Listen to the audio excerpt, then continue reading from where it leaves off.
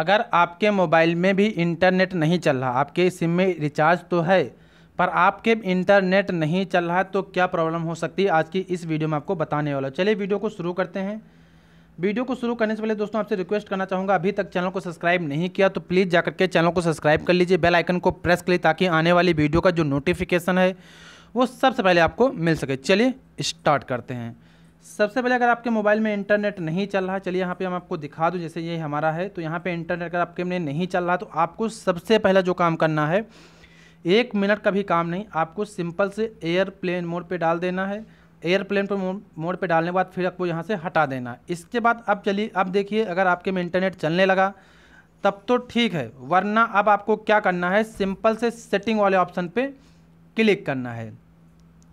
जैसे आप सेटिंग वाले ऑप्शन पे क्लिक करेंगे, उसके बाद SIM card and mobile network उससे पहले आपसे बात कहना चाहूँगा कि आपको ये भी चेक कर लेना कि आपके में रिचार्ज तो नहीं ख़त्म हो गया है। कभी कभी हो जाता है कि रिचार्ज ख़त्म हो जाता, आपको पता नहीं चलता और यहाँ पे कॉलिंग होती पर इंटरनेट नहीं चलता। तो जैसे कॉलिंग दो दिन तक होती रहती है जो डाटा है, एक दिन पहले ही ख़त्म हो जाता। कॉलिंग स्टार्ट रहती तो हो सकता कि आपके जो रिचार्ज है, बिल्कुल ख़त्म होने की कगार पे है। ठीक? तो वो भी प्रॉब्लम हो सकती है तो इसके लिए आपको वो भी चेक कर लेना है। अगर तब भी प्रॉब्लम नहीं सॉल्व होती तो अब आपको क्या करना है? यहाँ पे सेटिंग समझ लीजिए। सिंपल से SIM card and mobile network वाले ऑप्शन पे क्लिक करेंगे। जैसे आप क्लिक करेंगे, अब आपका ये चेक कर लेना कि आपका रिचार्ज किसमें है? जियो में है या एयरटेल में? चलिए, मेरा एयरटेल में तो एयरटेल वाले ऑप्शन पे क्लिक करूँगा।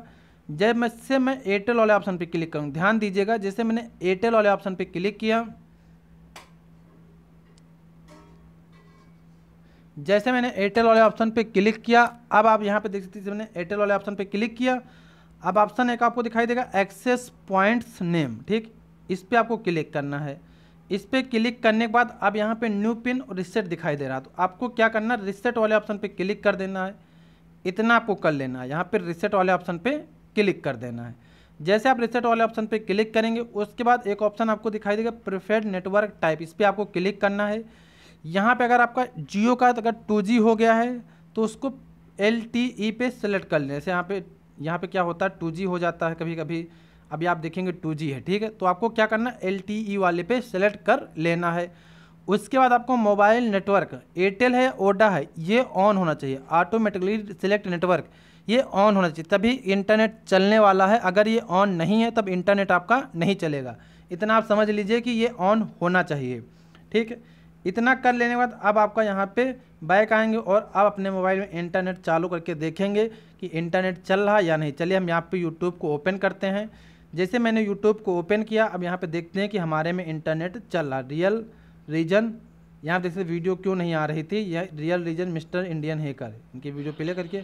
अब यहाँ से किसी की वीडियो यहाँ पे यूट्यूब पे आप देख सकते हैं, क्योंकि अब आपके मोबाइल में इंटरनेट चालू हो गया। दोस्तों, कुछ इस प्रकार से अगर आपके में मोबाइल में इंटरनेट नहीं चल रहा तो कुछ इस प्रकार से उस प्रॉब्लम का सोल्यूशन ले सकते हैं, सॉल्व कर सकते हैं। अगर ये वीडियो आपको पसंद आई तो वीडियो को लाइक करके चैनल को सब्सक्राइब करना बिल्कुल भी ना भूलें। धन्यवाद।